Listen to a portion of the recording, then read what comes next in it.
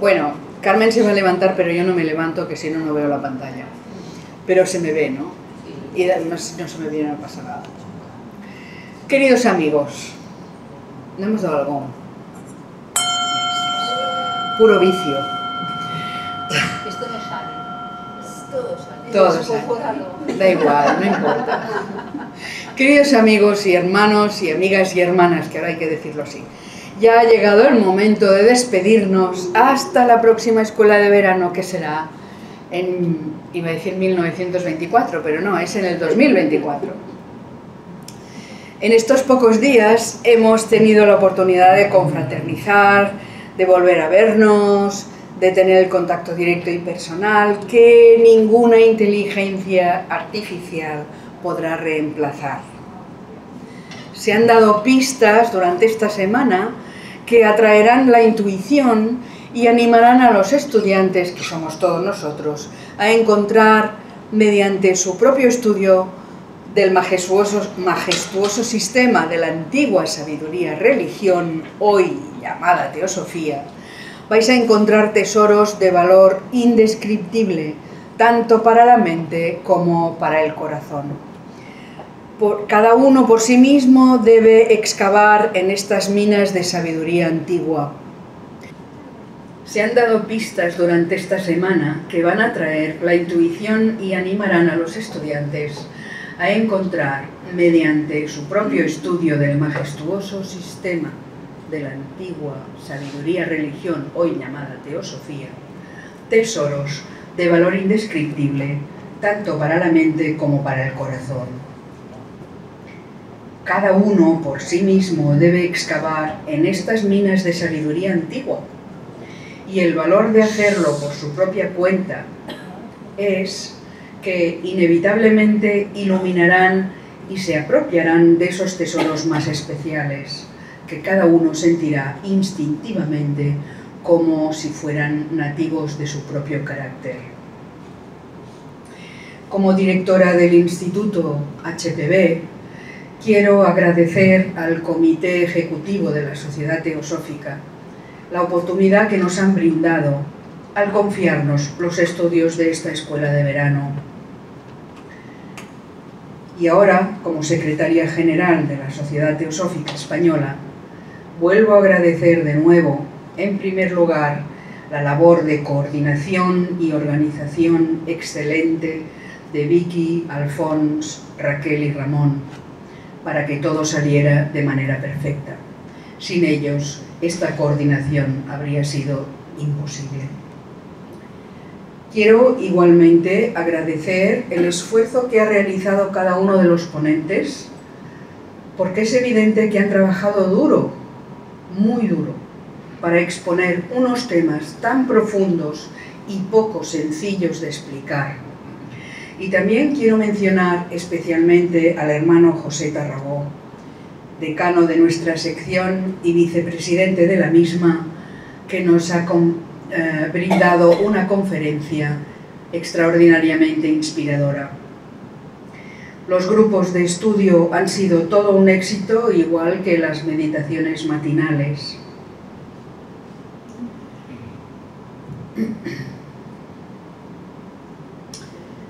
Eh, agradezco también al centro que nos ha acogido porque hemos disfrutado de unas instalaciones óptimas, rodeadas de jardines y de lugares donde meditar o donde hacer el yoga o realizar nuestros talleres. Y por último, quiero agradecer la presencia de Johanna y Hermann Vermeulen, que nos han deleitado con su inspirada conferencia y que ha sido el broche de oro de esta escuela de verano. Y ahora voy a ceder la palabra a Carmen, directora de estudios del Instituto Blavatsky, para que nos dé sus conclusiones. Bueno, queridos hermanos, amigos, simpatizantes, yo eh, quiero agradecer especialmente a la secretaria general de la Sociedad Teosófica Española, la hermana Ángeles, por haber confiado en los estudiantes del Instituto HPB para la presentación de un tema tan profundo como ignorado. Debo decir que las conferencias por parte de los oradores, de todos los oradores, ha sido una labor de equipo. Venimos estudiando este tema desde hace dos años, pero este año lo hemos dedicado exclusivamente a la preparación de cada tema. Obviamente que hemos aprendido mucho en los intercambios de ideas, porque aunque parezca mentira, poseemos varios lenguajes y nos vimos obligados a ajustarlos para dar una coherencia y continuidad en los temas tratados.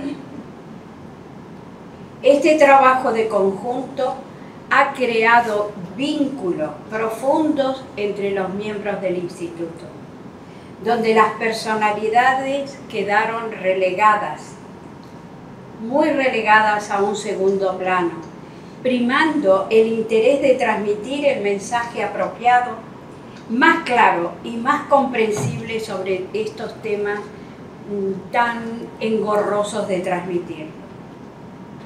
En este equipo de trabajo hubo cero competitividad, solo prevaleció y prevalece el amor al ideal, contribuyendo en dar a conocer lo que nos dice la sabiduría antigua sobre la necesaria transformación de la forma de pensar, desvelando los misterios y secretos de nuestro verdadero origen y cuáles son las potencialidades para servir cada vez mejor a la humanidad.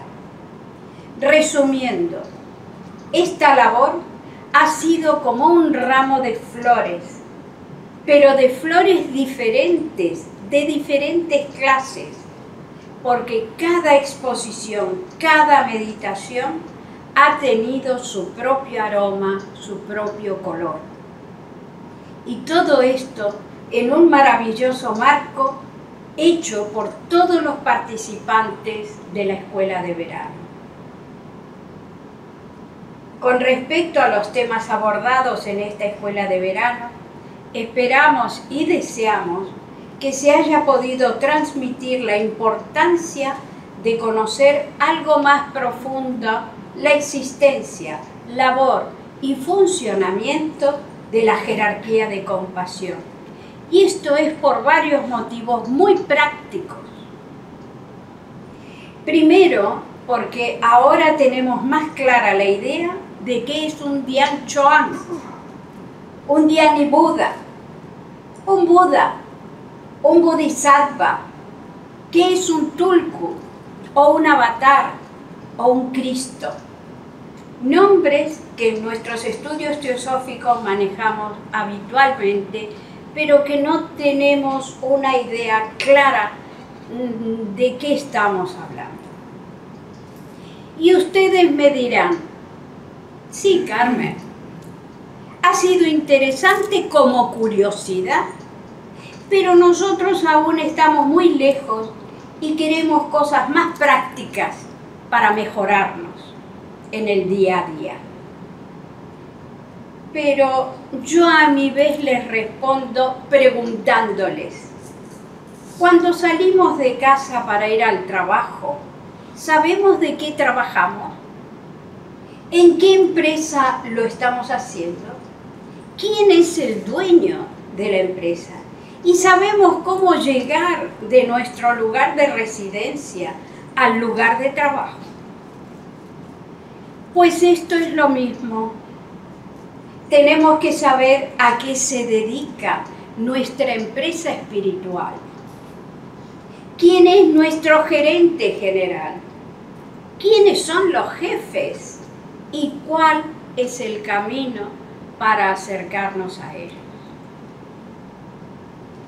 Estos días estuvimos recordando nuestro verdadero origen y para qué y con quiénes trabajamos. Porque muchas veces nuestra vida cotidiana se sumerge en el fragor de la lucha diaria, en el mundo ilusorio, que lleva nos lleva a hacer que cobre tanta realidad, más quizás que la auténtica realidad de la que provenimos. Entonces, perdemos la memoria. Y cuando digo la memoria, no me refiero a la memoria cotidiana de la mente inferior, sino a la memoria que representa nuestra conexión con la mente iluminada, superior, aquella que nos hace ver las cosas en su auténtica perspectiva. Como segundo punto, conocemos muy poco de cómo se mueve el mundo oculto. Oculto ¿por qué? Porque no lo vemos con los ojos físicos, pero que existe. En él vivimos, nos movemos y tenemos nuestro ser. Y por supuesto el mundo de las jerarquías, que nos parecen tan lejanas, tan inaccesibles, y puede ser que estén más cerca de lo que nosotros pensamos. Valga como ejemplo este trozo de una carta de HPV dirigida al doctor Book que le escribió refiriéndose a James Rastron Skinner, que había sido ayudado directamente por un Diane Chuan. ¿Recordarán ustedes quién es Skinner? No, les explico. Es este que Blavatsky admiraba por sus escritos que había hecho las medidas de las pirámides de Egipto. Él era un matemático, un científico muy reputado y que, mm, según Blavatsky, había descubierto dos claves y media de la cábala, con lo cual era una persona que le habilitaba a hacer interpretaciones muy importantes. Y ella lo admiraba muchísimo. Y ella le dice al doctor Book, él es el hombre y la mente más grandes en dirección a lo oculto que conozco en la actualidad. Un genio natural que fue ayudado más allá de toda duda. Siendo un no iniciado, como no es se habría vuelto loco hace mucho tiempo o muerto asfixiado por la noche bajo un ataque de apoplejía si no hubiera sido por la ayuda y observación que hubo sobre él, no de uno de nuestros maestros, sino de un Dian Chuan, un planetario. La cosa más rara posible. Y realmente no sé, lo sé por nuestros maestros, que hablaron de él cuando todavía estaba ella en Adia, refiriéndose a él como el Ohio cabalista matemático, y del que ella ni siquiera había oído su nombre. Es curioso, nunca había oído hablar de él o de su libro cuando estaba en Estados Unidos. De hecho, sus poderes intuitivos son tan maravillosos como sus conocimientos matemáticos. Este ejemplo de las jerarquías de compasión lo dejo para vuestra reflexión porque habla por sí mismo. Yo agrego que no solamente debemos aspirar a una vida superior, sino que tenemos toda la información necesaria para entrar en ese maravilloso engranaje que llamamos vida espiritual.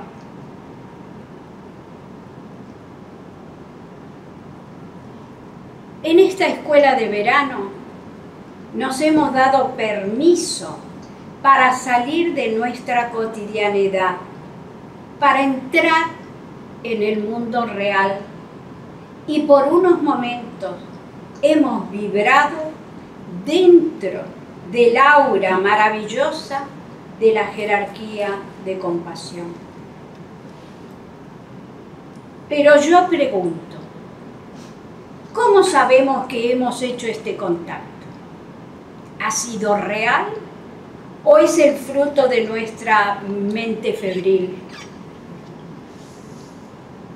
Y yo respondo, sí, ha sido real. Porque ahora vemos el mundo que nos rodea con otros ojos. Algo ha cambiado en nuestro interior que nos hace ver y sentir de otra manera. Hemos sido tocados por el fuego de Pentecostés, el fuego de la intuición, que nos ha hecho ver con mayor claridad nuestro futuro, que está en el presente. Por eso no somos los mismos, los mismos que llegamos hace cinco o seis días atrás. Porque hemos recordado, hemos recordado quiénes somos y quién es el maravilloso, ese ser maravilloso que habita en todo lo que está manifestado y por supuesto en nuestro corazón. Estos días no solo alimentamos bien nuestros cuerpos físicos, sino que hemos dado alimento a ese complejo mundo interior que son nuestros vehículos. Dicen algunos discípulos avanzados que el truco consiste en hacer vibrar nuestros vehículos de una manera más fina, más delicada, y que una vez adquirida esa calidad, hay que sostenerla de manera permanente, porque es entonces cuando estas vivencias transforman auténticamente nuestras vidas.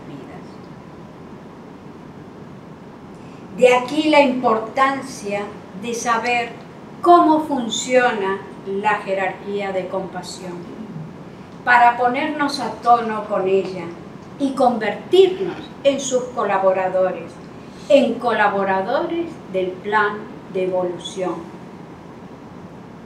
Y justamente al entrar en esa corriente se construye una nueva forma de vivir, de pensar, de sentir y de actuar. El Buda o el Cristo y toda la jerarquía de compasión ya no son para nosotros esa jerarquía de entes separados de nuestras vidas, como si fueran extraterrestres que están allí en un lugar X, porque dentro de cada uno de nosotros está Él. Como dicen las Sagradas Escrituras, hazme un templo que yo habitaré en él. Este mm, párrafo está tomado de Éxodo 29:46 y dice lo siguiente, y conocerán que yo soy el Señor su Dios, que los saqué de la tierra de Egipto para morar yo en medio de ellos. Yo soy el Señor su Dios. Ahora cobran significado estas palabras porque dice, los saqué de la tierra de Egipto para morar en medio de ellos. ¿Qué quiere decir? que bajo los efluvios de la vida universal, emanada del vigilante silencioso, que se realiza a través de todos nuestros vehículos, que es el mundo de la ilusión, nuestro Egipto. Entonces, lo que ya está dentro nuestro, esa chispa divina indesprendida, brilla en todo su esplendor dentro del templo de nuestros cuerpos físicos. Pero nosotros debemos hacer o construir ese templo tejer esas vestiduras en sintonía, en armonía con Él, a través de la compasión. Esta es la llave maestra que abre las puertas selladas del mundo superior, del mundo real. Es mi deseo que lo que experimentamos en estos pocos días nos haya tocado el corazón y retornemos a nuestras labores con la certeza de que podremos formar parte del muro contenedor o guardián de la doctrina nirmanakaya, sumándonos a la legión de adeptos o santos que velan por la humanidad ayudándola y protegiéndola.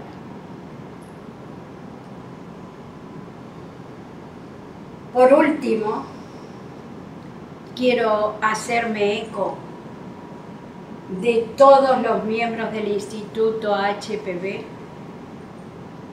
que han participado y que están aquí presentes y de otros miembros que no han podido venir pero que han colaborado y decirles que todos ellos sienten una inmensa satisfacción por haber podido compartir sus estudios con todos ustedes y difundir la inmensa labor de la jerarquía de compasión. Muchas gracias a todos.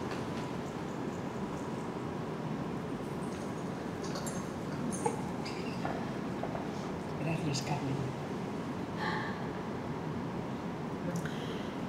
A fin de claus... ¿Quieres esto? Sí. ¿Quieres esto? A fin de clausurar debidamente esta escuela de verano de 2023, les voy a pedir que se pongan en pie para hacer una dedicación y agradecer haber podido vivir estos días en esta bella atmósfera.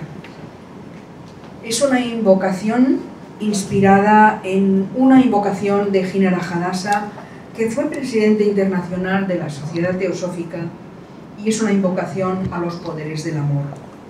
Y dice así, Oh poderes del amor,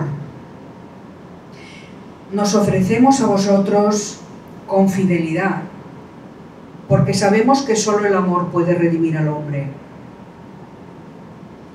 invocamos vuestra bendición sobre todos los que se esfuerzan en servir a la humanidad. Ofrecemos nuestra reverencia y gratitud a los grandes seres y nuestra lealtad y devoción a HPV, el eslabón entre ellos y nosotros que nos trajo la luz de Oriente. Y a todos los que han mantenido y mantienen viva la llama de su obra. En nombre de ellos y por ellos invocamos la paz y el amor a todos los seres.